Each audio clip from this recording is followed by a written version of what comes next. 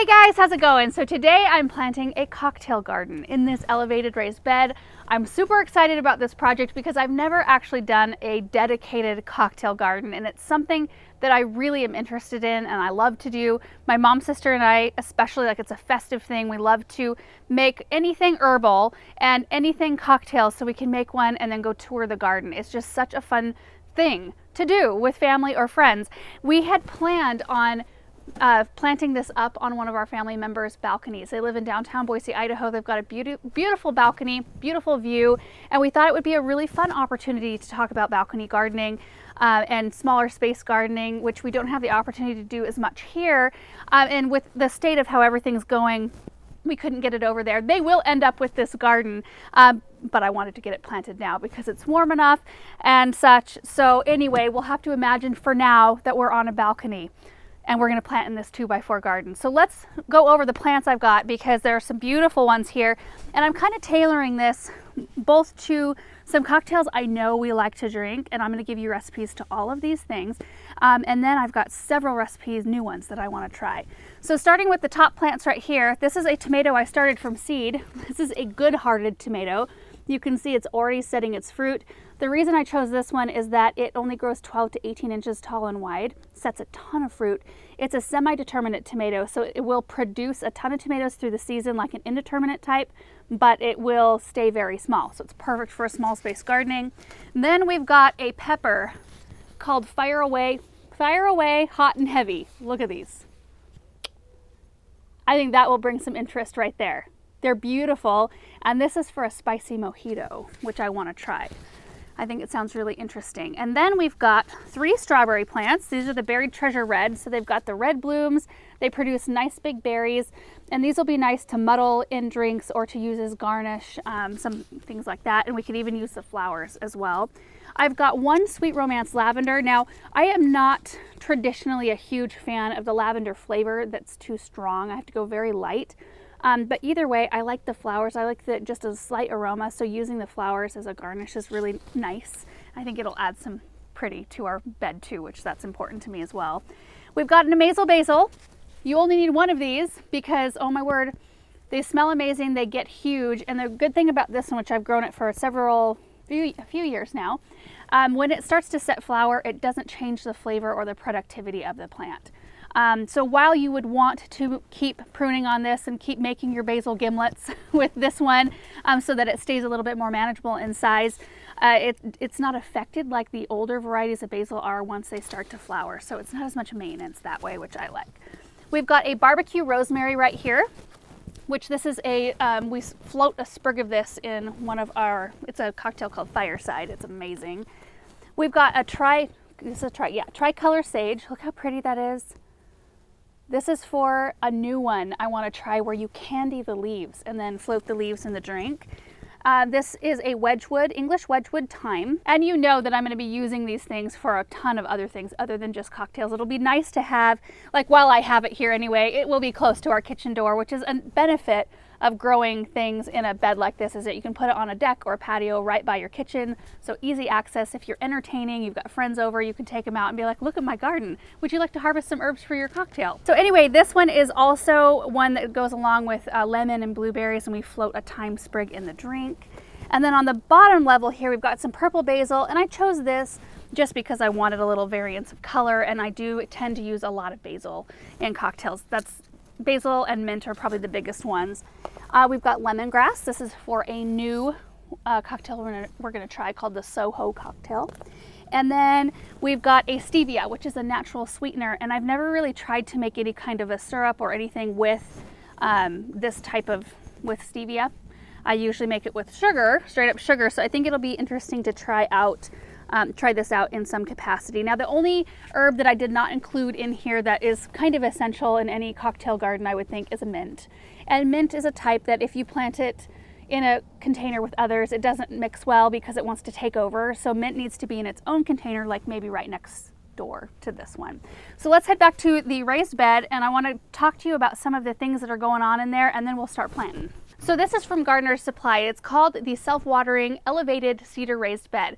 Although you can get them separately. You can get a raised bed without self-watering. You can get it with self-watering. If you already have a bed like this, you can buy the inserts and retrofit your current um, raised bed to fit these and I like the color of this so I chose this on purpose this is a color called graphite because I thought with the style of building um, that this is the balcony where it's going to go I thought it would look really sleek and really pretty but I think there's like four different stain colors or you can get natural cedar you can also get it with wheels um, but the self-watering thing is what I'm most excited about so inside here, I'm going to kind of take it apart and show you how this works. So I'm going to take the top trays off and show you the bottom of the self-watering insert. There's our little float right there. So you can see these bottom trays right here. And if I lift them all the way out, they're held, not held together, but they're connected by a tube right there. So the self-watering, whoops, reservoir reservoir isn't um, separate. It's all connected by that right there. And then this little piece of wood actually helps kind of bridge the gap so no soil falls out. And you might, if you got this, sometimes I think the tube will come a little bit longer. You could put this piece of wood either in between the two inserts or on the side, however it fits the best. So at this point, I actually need to go get my hose and fill these up before I put it back together. So let me go do that. Okay, so we need to fill these up. They hold 10 gallons of water, which is a pretty decent amount.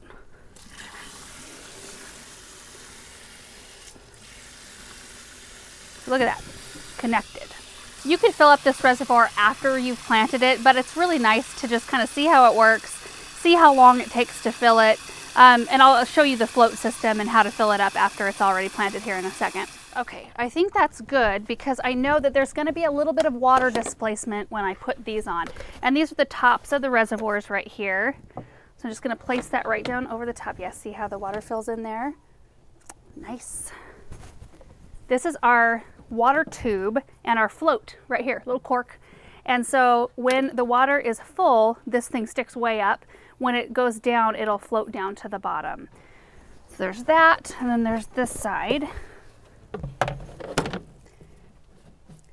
And see how this is positioned with the little piece of wood right here, just to bridge this little gap on the side so that soil doesn't come barreling through. So that's it for the self-watering reservoir. So just imagine this, well, you won't have to imagine for very long. Imagine it full of soil. And then this will come up out of the soil right there so you can access this. I mean, you won't really be able to see it because all the once the plants grow up, it'll kind of shroud it, but it makes it easy and you can stick your hose right down in there or watering can or whatever you're using. So now I'm going to fill it with soil. I brought up some potting soil as well. You know what? I could use raised bed mix. Should I use raised bed mix? I'm going to go grab some raised bed mix and then we'll use that with some of the compost and biotone. We're going to give these plants a good start. So I decided to do just straight raised bed mix with the biotone starter fertilizer mixed in with it. Um, honestly, because I want to get more experience with the raised bed mix. I have filled up a lot of planters like this though with straight potting mix and it works totally fine. I'm just eager to get more experience with this. So I'm going to fill up the bed with the raised bed mix. We're going to add in a little bit of biotone and then we will start planting.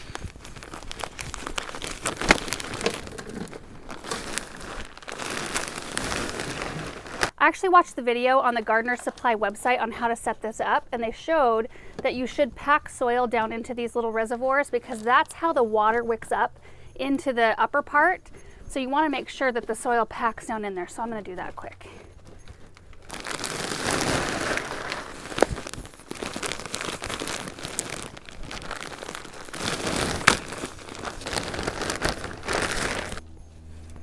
All right, that soil level looks really good and it took one, two, three, four, one and a half cubic bags to fill this reservoir. I thought it was gonna take six. So now I'm gonna add in a little bit of the starter fertilizer and I'm just gonna eyeball it here. Spread some around the top. Now we'll work it in with our hands, my hands. There we go. So now I'm gonna grab all my plants and I'm just gonna work on laying them out. If it's possible that I might not use all of them. Anybody want to take bets? Lemongrass gets quite large. I think that'd be pretty in the center. Tomato can come out the side. This. Oh yeah. So my reasoning, kind of, I don't know if I have much reasoning for why I put things where, but the um, pepper, anything with fruit, so the pepper, the tomato, which are on opposite ends, and then my three strawberries are on the edges so that their fruit can kind of spill over the side. And then, you know what, I think I'm gonna swap these. The stevia I'm gonna put here. This is a smaller plant while this one grows a little bit taller. The amethyst basil will also grow a little bit taller. Our lemongrass will be our tall centerpiece plant. And then our amazel basil will fill in right here. Our lavender can kind of spill out the side here. Same with our tricolor sage and our thyme. I think this is gonna be a gorgeous planter.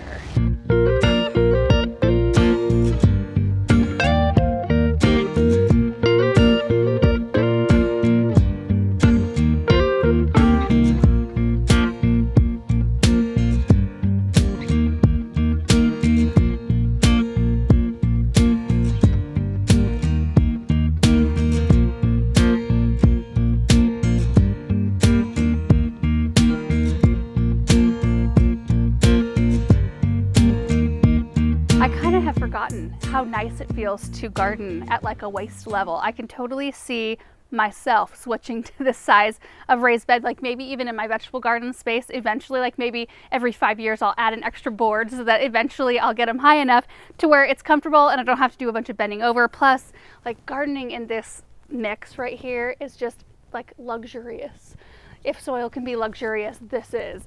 And I think they're all going to do really well. I mean, I packed a lot in here, but I do think that it's going to, like, they'll grow and fill in. Some might be a little bit large for the space they're in, but I think for one season, it's just going to be perfect. And you know, basil right here is not a perennial uh, for us anyway. Um, neither is rosemary. This one will have to be taken out. Uh, and then, you know, our uh, tomato and pepper. The only perennials that I have in here for me, uh, anyway, are the lavender, sage, thyme, and I think that that's it. And strawberries. Everything else is either annual or you have to dig it and store it. Like the lemongrass won't survive here. Rosemary won't unless we put it in our greenhouse or bring it inside. Um, and some things just don't do well inside. I've tried lemongrass inside and it hasn't done well for me. Um, haven't tried it extensively though, so you guys may have some tips for me on that. Uh, I do need to water it in. I left a generous lip here so that we didn't have any soil overflow. In fact, I might come in with some straw and top dress with that because it helps with our tomato. It'll help with our strawberries, just keeping the soil off of the plant. Um, and I actually think it looks kind of, I don't know, I like the look of it. It just looks so appropriate to be in this sort of space.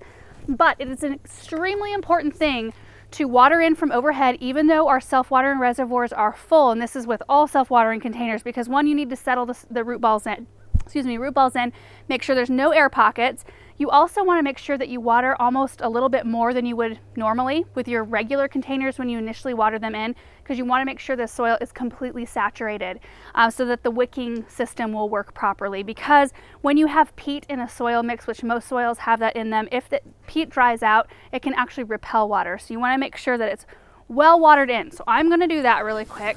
And I just like to keep the water off the foliage and I try to go around each plant and we may have to add a little bit of mix in. I might have to bury a couple plants a little bit deeper. But this is a good time to do it. Oh, I also saved all my tags. That's always handy information to have. So after you've watered it in from overhead, you do want to water it from overhead for the first maybe week or two until the plants have had, a chance to root in and create a little bit of a root system so that they can reach the water that's coming up. Uh, so that's just kind of standard rules for any self-watering container. And then after you're done with all your overhead watering, this is how you fill the reservoir. So you could either, let me take the diffuser off. I don't know if that's what it's called. Breaker, water breaker. You can stick your hose right down in there Make sure it's not touching the little float right there so that the float can move freely. But that's how you water it. Now ours is almost full and it will start to leak. I can see it's starting to come out. Um, they aren't like watertight, which is a good thing. You want there to be a little bit of an overflow so water can't back up into your soil reservoir. Uh, that's really important. You don't want your plants to be floating uh, but we are going to be positioning this in a very sunny position because that's what all of these herbs want. And then um, I will be side dressing with, I'm not going to be doing like a weekly fertilizing water soluble like I do with my annual flowers. Rather, I worked biotone in the soil today, so I'll probably wait a few weeks before I come in, maybe like 30, 40 days before I come in with garden tone and I'll just sprinkle some garden tone around the plants in there and water it in again from overhead. So I make sure to push that fertilizer down to the root system of the plants. And I don't even know how long I'm going to have this garden. Like I said, um, this is was meant for relatives and they may come and pick it up depending on how things go. But I may end up having it here and tending to it throughout the year and that'll be really fun too and you'll be able to see it in garden tours um, as well. But now I kind of want to sit down real quick and run through the different cocktails that we're going to use these herbs for because they're things I'm really excited about. Okay, so I've got my paper here because I wanted to be able to share some of the main ingredients that some of these cocktails, both the ones that I know and love and the new ones feature. Um, so first off, there's the basil gimlet, which is for me a gin base. My mom likes it with vodka and we use basil for that and fresh lime juice. Um, there's the one called the fireside, which is so good. It's a vodka based drink, but it also has freshly squeezed grapefruit juice and you float a rosemary spear in it. And so you get that aroma of rosemary while you're drinking this really bright citrusy flavored drink, but it's uh, sweetened with maple syrup and there's a little pinch of salt in it and it sounds super weird, but it's so delicious. So that link will be down, well, links for all of these will be down below. Of course, there's the mojito, which you've got rum and mint, and then new ones. So blackberry sage gin smash, which is a gin based drink that you have blackberries and candied sage leaves, which I mentioned before. So I think that's going to be both beautiful and tasty. There's the Garden Patch Smash, which is raspberry lavender syrup. So I think that's going to be a really interesting one. And that's the only one on my list that I'm like, I may have to adjust the amount of lavender because I just don't like it very strong. Like I don't like a strong floral taste, but the raspberry and blueberries and lime and stuff in there sound really good. There's the Tomojito, which is uh, a Bloody Mary kind of drink. Um, and that's what our tomatoes are going to be used for. And it's a vodka based drink. It also has basil and oregano, which I didn't have. I couldn't find an oregano plant, but I already have an oregano in another pot, so I'm good there. And then there's the spicy mojito, which is what our pepper is going to be used for. Also, um, mint and rum and lime sparkling water. Couple more. The Soho cocktail is our lemongrass mint ginger gin ginger ale lime juice cocktail. And then Country Thyme, which is our thyme sprig, and there's blueberries muddled with lemon juice and a little bit of vodka. So I think we are going to be set for the year. And of course you can you can make whatever kind of garden you want. You can tailor it toward your own tastes. Like I used all things that I like to use. Um, like we've done a spaghetti planter before. You could do a salad garden. You could do all flowers if you wanted to do that. Um, but the whole point is that these make it very accessible to put it up on a patio or a balcony in the case that we were going to use it. It's just a fun thing and I'm really excited for this. And if this doesn't end up staying at our house for very long, I'll probably have to repeat something very similar for us here in our garden. So anyway, thank you guys so much for watching this video. Again, we will link all of these delicious recipes down below as well as everything we used. I'll put a plant list down below as well. We will see you in the next video. Bye.